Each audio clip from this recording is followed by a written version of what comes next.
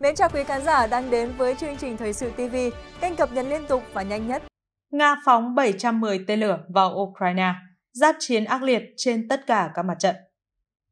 Quan chức quốc phòng Mỹ cấp cao cho biết, kể từ khi bắt đầu chiến dịch quân sự đặc biệt vào hôm 24 tháng 2, tính tới nay, quân đội Nga đã phóng tổng cộng 710 quả tên lửa vào Ukraine và các mũi thọc sâu đang ở ngay bên ngoài Kharkiv, thành phố chiến lược thứ hai. Quan chức trên cũng cho biết quân đội Nga đang tiến vào thành phố Kharkiv và Mykolaiv. Cụ thể, trong ngày qua, các lực lượng vũ trang Nga đã tiến thêm được 20 km và nay đang ở ngay ngoại vi thành phố Kharkiv. Bên cạnh đó, trên hướng mặt trận Mykolaiv, quân Nga cũng chỉ còn cách trung tâm thành phố này khoảng 15 km về phía bắc. Trên hướng thủ đô Kiev, mặc dù Nga dồn binh lực rất lớn, đoàn xe dài 64 km của họ đã bị trứng lại trước những đòn kháng cự quyết liệt của quân đội Ukraine. Trên tất cả các mặt trận, lực lượng của hai bên đang giáp chiến quyết liệt. Theo hãng thông tấn, trong hai ngày, các hệ thống phòng không của Ukraine đã phá hủy ít nhất 8 mục tiêu trên không. Hãng tin này trích dẫn thông báo của Bộ Tư lệnh Không quân Ukraine cho biết, trong hai ngày mùng 8 và ngày mùng 9 tháng 3, các hệ thống phòng không của không quân Ukraine đã tiêu diệt ít nhất 8 mục tiêu trên không. Chiến đấu cơ, các đơn vị tên lửa phòng không S-300 và Bok M1 đã tiêu diệt 4 máy bay cường kích Su-25, hai trực thăng của Nga, đồng thời cũng đánh chặn và bắn hạ thành công hai quả tên lửa hành trình. Theo ước tính của phía Ukraine, kể từ ngày 24 tháng 2 tới nay, Nga đã mất 56 máy bay chiến đấu, 82 trực thăng. Nga không đưa ra bình luận gì về các thông tin nêu trên của Bộ Tư lệnh Không quân Ukraine. Tôi đã chia sẻ với quý vị và các bạn thì tại thị trường trong nước hiện nay giá xăng vẫn ở mức là gần 27.000 đồng một lít. Tuy nhiên với áp lực giá xăng dầu trên thị trường thế giới đã tăng gần 30% dấu hiệu dừng lại thì giá xăng lại có thể vọt tăng vượt mức là 30.000 đồng một lít vào cuối tuần này.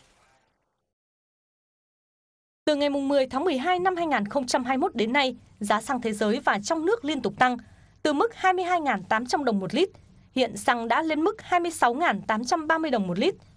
Và từ ngày 1 tháng 3 đến nay, xăng dầu tiếp tục tăng cao. Như dầu từ 108 đô la Mỹ một thùng đã lên 130 đô la Mỹ một thùng, tăng hơn 20%.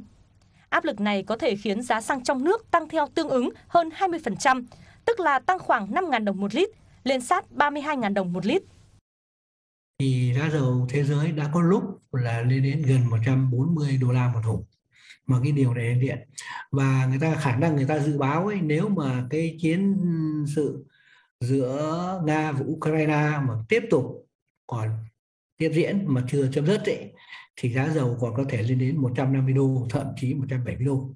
Khả năng mà lên tới 30.000 đồng một lít là hiển nhiên phải khẳng như vậy. Thậm chí có thể trên 30.000 đồng.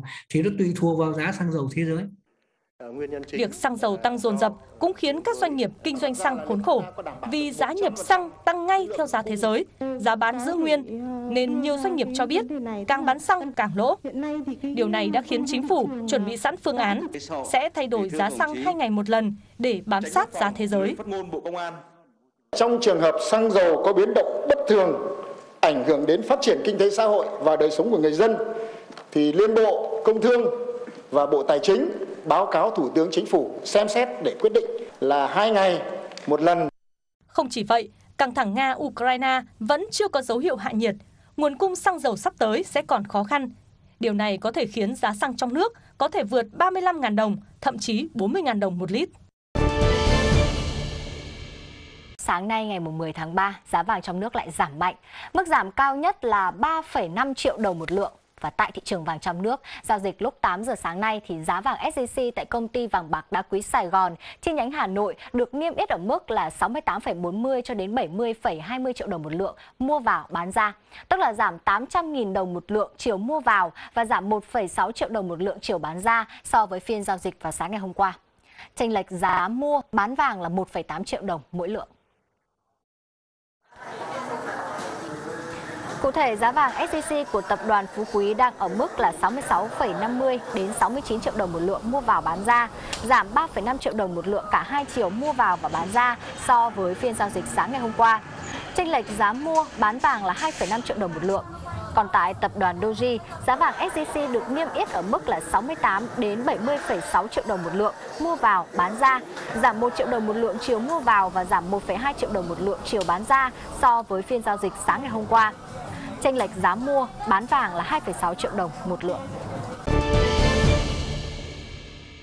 Giá xăng dầu tăng nên bắt đầu từ ngày hôm nay ngày 10 tháng 3, tất cả các dịch vụ của Grab từ 4 bánh cho đến 2 bánh đều đồng loạt tăng giá.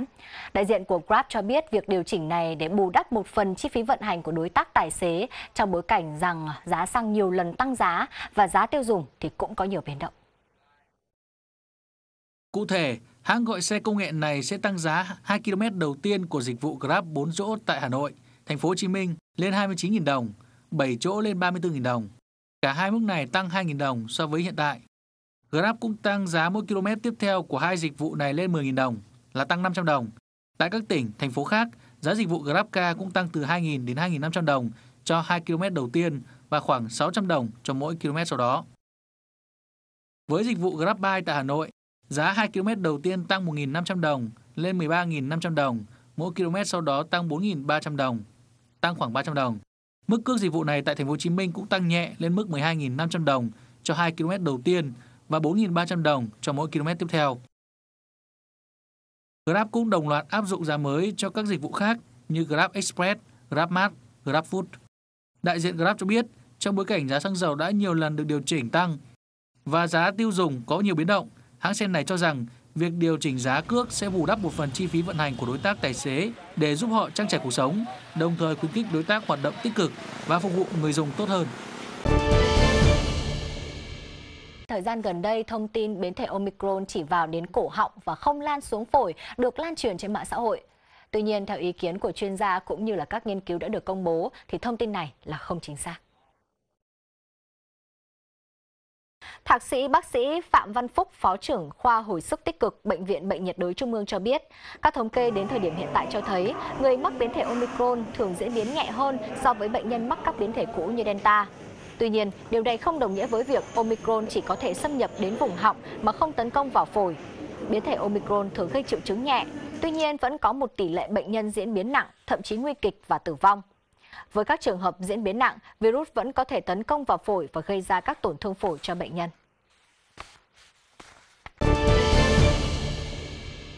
Thưa quý vị và các bạn, trạm kiểm soát biên phòng cửa khẩu quốc tế Cầu Treo, Bộ đội biên phòng Hà Tĩnh vừa phối hợp với Hải quan cửa khẩu quốc tế Cầu Treo đã bắt vụ vận chuyển 300 bộ kit test nhanh COVID-19 không rõ nguồn gốc xuất xứ. Cụ thể khoảng 13 giờ 30 phút ngày 8 tháng 3, tại luồng nhập cảnh cửa khẩu quốc tế Cầu Treo, lực lượng biên phòng hải quan phát hiện phương tiện mang biển kiểm soát 37H01479 do anh Nguyễn Văn Nga, sinh năm 1990, quê quán Nghi Lâm, Nghi Lộc, tỉnh Nghệ An điều khiển. Tại hiện trường, lực lượng chức năng phát hiện trên cabin xe có một thùng màu đen, bên trong đựng 12 hộp nhỏ, mỗi hộp có 25 kit test. Tổng toàn bộ có 300 kit test nhanh COVID-19 và số hàng trên thì không có giấy tờ liên quan đến nguồn gốc xuất xứ.